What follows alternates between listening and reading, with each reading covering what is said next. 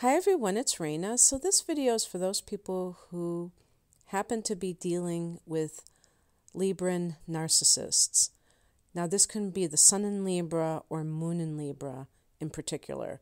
And somebody made a good comment. They said, you know, I think the moon in that particular sign is even more so the case. And I I think they might be right, but the sun can definitely give some of the same personality traits.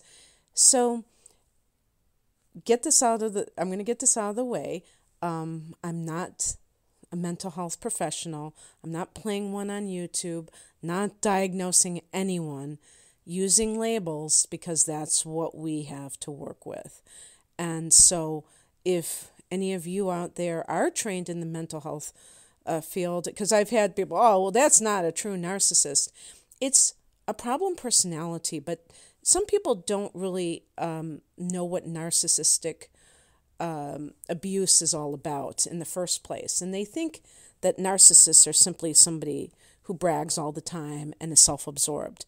If only that were the case. That would be annoying, but that is simply not the case. We're talking about something much more sinister at play here. We're talking about people who need to feed off of others. They're energy vampires in one uh, form or another.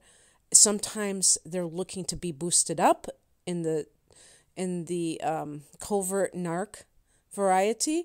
With malignant narcs, they want to bring down the vibes of other people because um, that is something that they feed upon.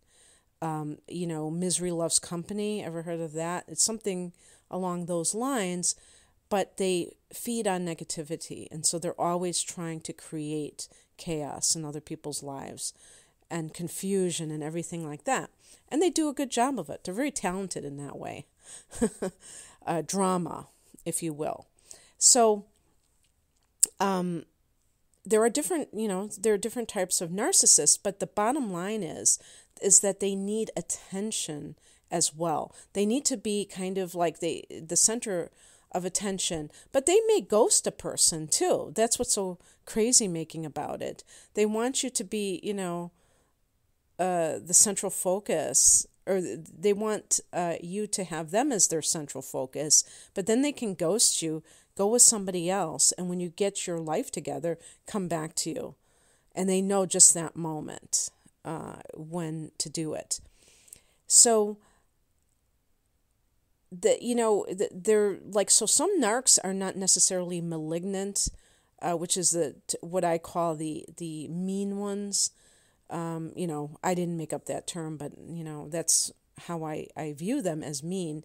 But the malignant narcs are the ones who undercut you try to try to lower your self-esteem and they can do that in you know very obvious ways or some subtle ways and I was, you know, before I, w- I set to do this, I was set to do the, the Libra narcissist reading. I was like, ugh, I don't know if this is going to work because I've had my dealings with Libra people, and typically I don't see them as narcissistic.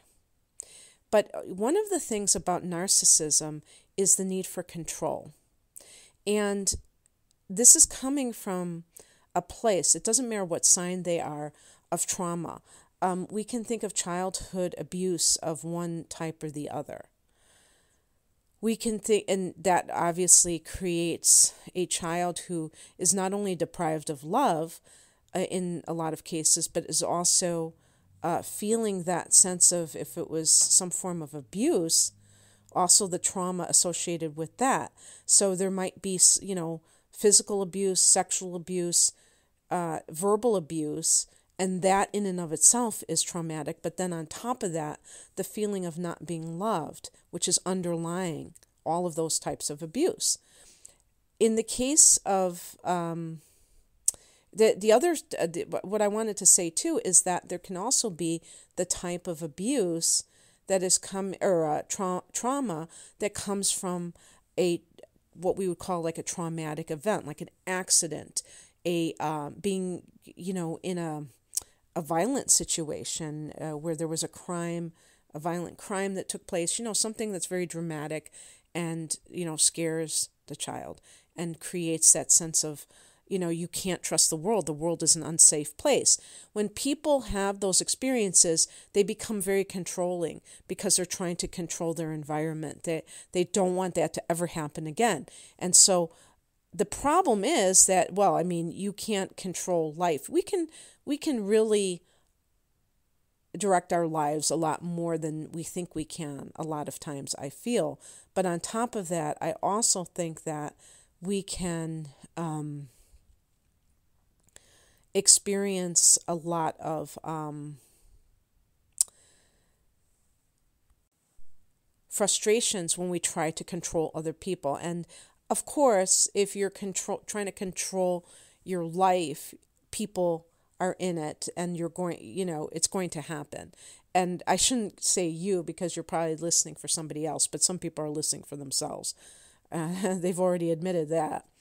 Um, but anyway, um, so I didn't see Libra as problematic in all of my dealings with Libra, but now I can see very clearly a particular situation. And remember that you can have a Libra sun and you can have any moon sign. So you could have Scorpio moon and have a lot of those traits that I've already outlined with um, a narc moon Scorpio. Even the rising sign, I feel, can um, play into this and how the person tries to control. Um, but I I'm not including that because I feel I feel very strongly that the sun and moon are enough. Now, one way that people try to control is with money, and I feel like Libra is a sign that can be good at generating money because they like nice things. So they're going to tend to, and they tend to be very intelligent and attractive, like physically appealing and have the gracious manners. So, in that sense, um, a Libra person can use their money to control people around them.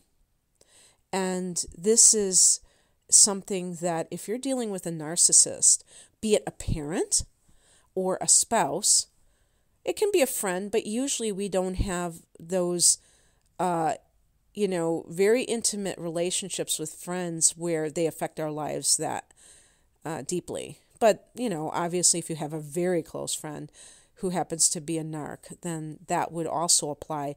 But also like a boss, because a boss can be responsible for your livelihood. So, you know, a narc boss. Um, trying to dangle the carrot of money to control people is a common narc trait, and Libra would be no exception to that. One thing that Librans are known for is their charm. Libra is ruled by Venus, and Venus is the goddess of love and beauty.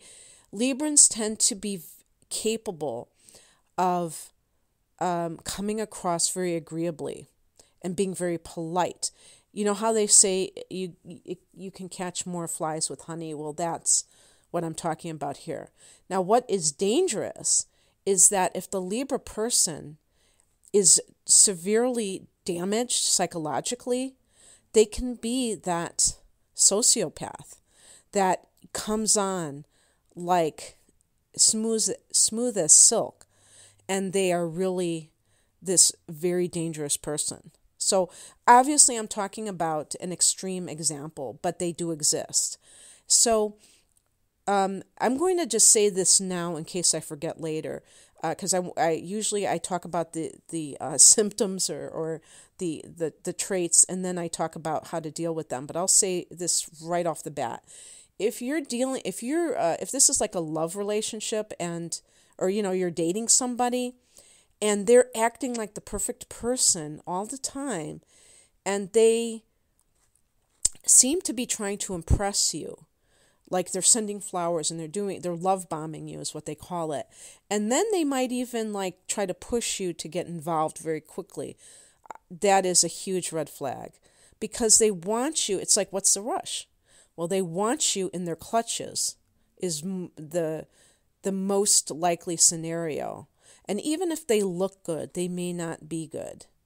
And I mean, they're, you know, they're part of God's family and, and they are, you know, a child of God, so they're good inherently somewhere inside, but you know, people who are very broken can do a lot of damage. So be very careful when you're dating somebody and they're exhibiting signs of you know doing things very wanting to do a rush job on the relationship another thing um, well i mean those were the traits that um, i wanted to get out of the way. I've uh, put down some other things related to libra and narcissism. The first thing i said is obsess uh, obsession with appearance.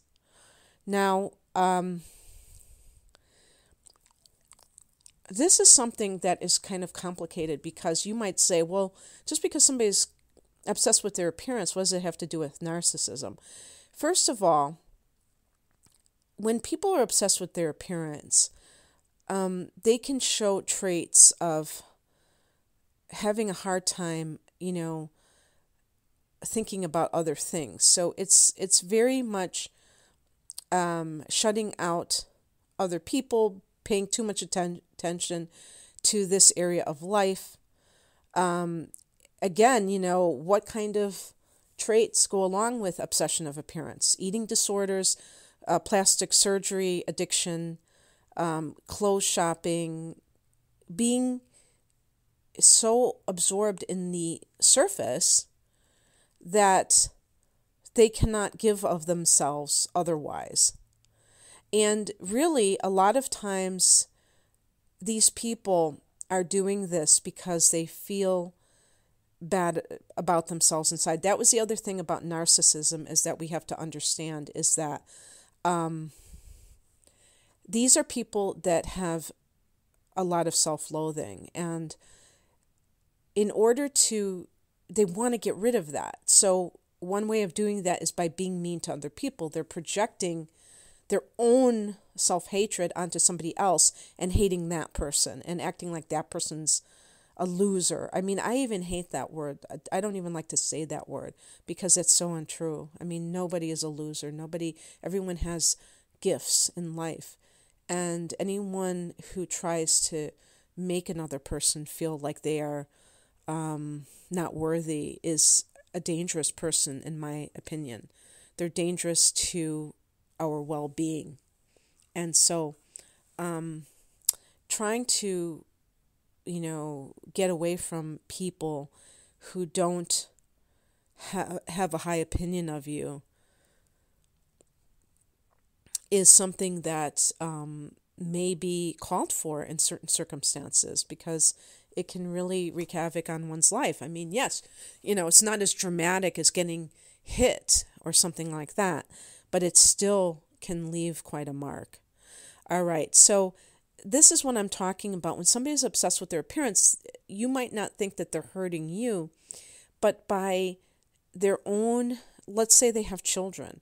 Let's say, I don't want to pick on women because I'm a woman, but women can have a tendency to do this more than men because women, even in 2020, are expected to um, or you know we think that we're expected to look a certain way and especially when you're younger you know this is something that when you don't really feel comfortable in your own skin when when you may have been teased about your appearance you know a libra person who gets teased about their appearance can be especially prone to trauma about it because of the venus influence. You know, um, beauty is very important to a Libra person in general, not just with their own appearance, with maybe other people's appearance, maybe with, um, you know, the, their in, immediate environment, that they want an environment that looks good.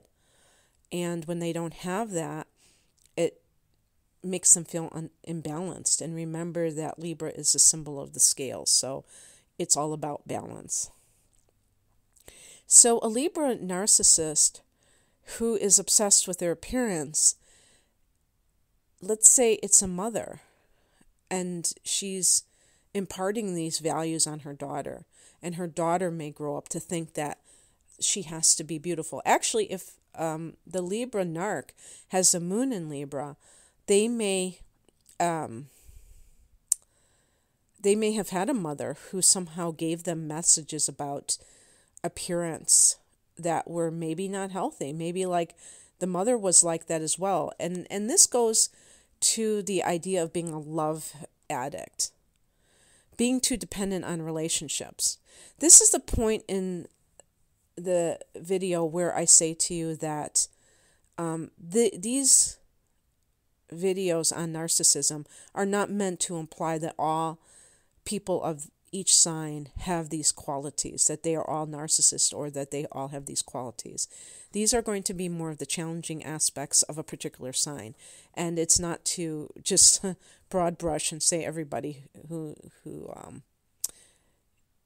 everybody's going to be like that. And I thought that would be fairly obvious since I've titled this Libra Narcissist, but I still get people, you know, thinking that I'm talking about all people of that sign. So, being too dependent on a relationship, I'm going to take another extreme example, which I hear about on the news, which is really tragic. Um, we hear about women, again, this is not to, to pick on women uh, whatsoever, but this particular example seems to, to um, be happening to women because, you know, if a woman has a child, the onus is usually on her to take care of the child. And um, sometimes women, because they want to keep a man, they will allow a man to abuse their child. Um, now, this is certainly not going to be only for Libra people, but I'm talking about a certain trait that is commonplace in Libra of relationships, because Libra rules the house of relationships, the seventh house. So, for broken people who have been traumatized earlier in life and who are starving for love. Finding th- these types of people may not be very choosy in a companion, and they can choose a companion who can do terrible things to their children. They may trust this person to take care of their child. As long as that chi- as that person stays with them, that's all that, that matters. And then that that other person, you know, does terrible things to the child and it's it's horrifying. But i you know what? I feel sorry for that mother because i know that she was severely traumatized herself. I know it. I know that a mother the normal instinct is to protect your child. And so i feel sorry for i, I feel sorry for people who do who who misjudge situations. So incredibly, you know, because they pay the ultimate price of of having to live with that guilt. And so this is not about judging those types of mothers. I read terrible comments, you know, when these types of things happen against the mother. And of course, we're angry, you know, when we feel like a mother doesn't protect her child against a virtual stranger. But it's really talking about how low the mother feels inside, how unloved. And so I would say in general, if I had to like put Libra nar- narcs in one camp or another, that I would say that they are more likely to be uh, covert narcs. So they are the victims of, uh, or they feel like victims. They go through life feeling like victims, but what happens when you feel like a victim? You're feeling sorry for yourself. Now, of course, if this person has a moon in Pisces or Cancer, a sign like that, they may be even more prone to self pity and believing that this is just dropping out of the sky and they have no um, responsibility or ability to control the situation. So, with covert narcs, there's a sense of learned helplessness where, because of their trauma, they really have emerged as adults with a life view that life is happening to them. There's nothing they can do to change things, and they become magnets for perpetrators. And then, guess what? Their worldview is solidified. And, you know, it's very um, problematic because, especially with the uh, ch- uh, parent child relationship, these people can adversely affect their children growing up.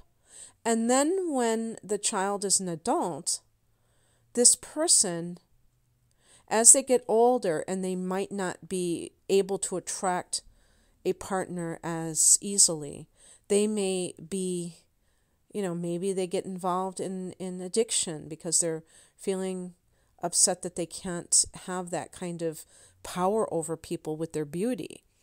And so their adult children may want to wash their hands of them because they are so they did they neglected them as children and then as adults they want their uh, full support and and they have not changed and we have to understand that narcissists it's extremely difficult for them to change because it's they're so splintered psychologically you know the shadow is the splinter that they cannot see who they really are. They're very lost to themselves.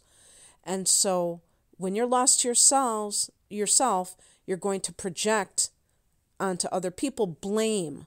The the both the covert and the malignant narc are blamers to other people. That's another red flag. If somebody is always blaming you, that they're not going to accept responsibility for their for their actions, for their life. And you have to you know, or otherwise you will not change. Um,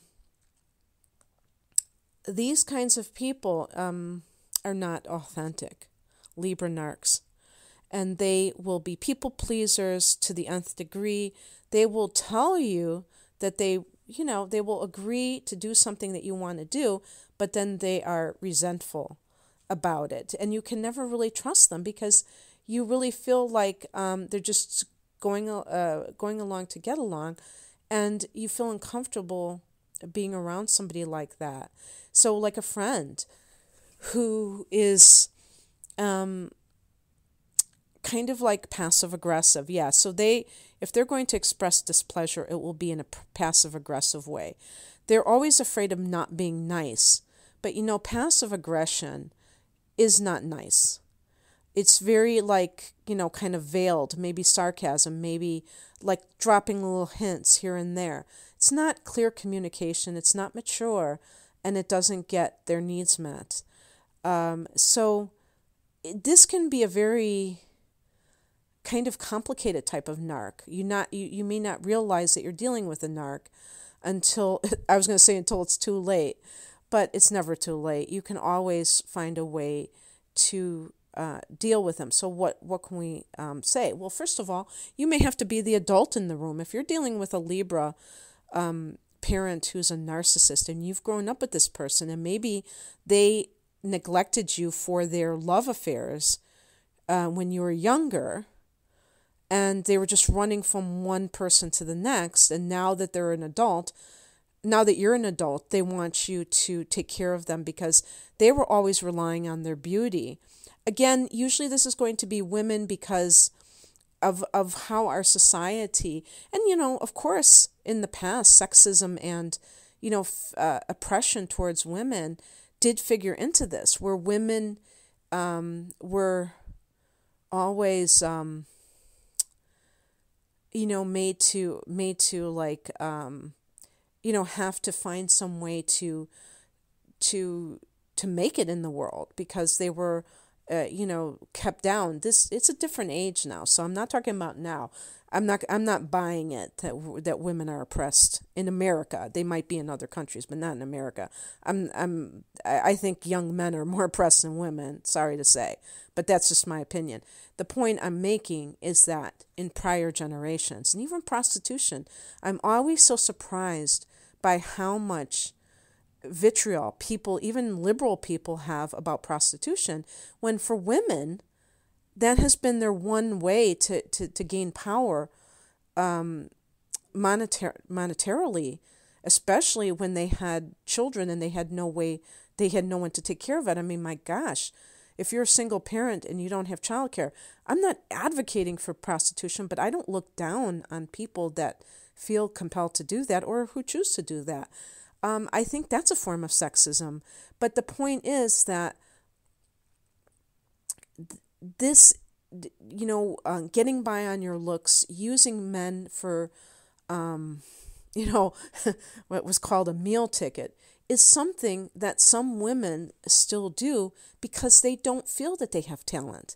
They don't feel that they are intelligent. They may have been put down growing up. And this is kind of a defense this is kind of a coping mechanism to get what they what their needs met when they feel they can't do so otherwise. Um, so i don't i don't fault them for that.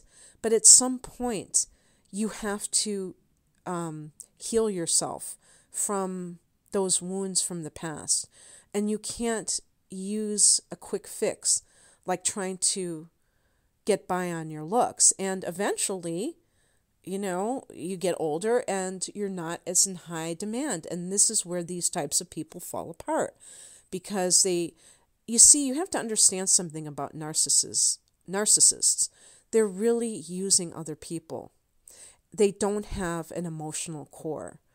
Um, and this is because they are so severely out of touch with their emotions. And so um, they use other people like pawns. And when they can't use them anymore, when too many people are onto them, or if they've lost that quality that makes them able to, to, to use others, for instance, for a woman, it'll usually be um, their looks. For a man, it can be their um, their power, uh, their you know their their money, their power. If they're you know quote unquote past their prime, of course I don't believe that, but you know that when they're like not as prominent an individual or not as wealthy or maybe they've lost all their money and they're just starting from scratch they have lost their narc powers and then, you know what I mean? And they can't control anyone anymore because they don't have anything to control with. So, how where you come into this is that you have to um, be very observant of how people are trying to control you. If a parent is trying to control you, either through money or through the, the covert narc, through dependency, you have to be proactive and you have to say, uh, if let's say you have a parent and they've started drinking because they're depressed that they don't have their looks anymore and they're relying on you to pay their bills and things like that you can say well you know and if you have the money you could say i'm going to pay your bill i'm going to pay your rent this month but you're going to go into aa and i'm going to go to meetings with you because you know you have you have an alcohol problem and this is going to prevent you from being able to find work. You need to find um, some viable work I can help you find work, but I'm not going to enable you to continue doing what you're doing. So you have to be the adult in the room. Or if this is um, a situation where a parent is trying to, you know, control you with money, and maybe you need that money. Um, you know, you have to decide how destructive they are. Sometimes um, it's just annoying how they're behaving, but if they are truly putting you down, making you feel like trash, then I would seriously ask yourself how much that is worth for you. Is it really worth the money that they're giving you to feel like garbage inside because of their treatment? And I would say it's never worth it. If that means you have to leave your two bedroom apartment and go into or you might even have a house and and you know rent a studio it's worth it for your self respect. So, um, anyway, I hope that uh, it turned out I had a lot more to say than I thought. So, I hope that uh, some of you have stayed to the end. Um, but in any case, uh, thanks for listening. If you'd like a personal reading, an astrological reading, yeah, I do tarot readings as well. Check me out. The link is below. I'm at rainamoonastrology.com. Take care. Bye.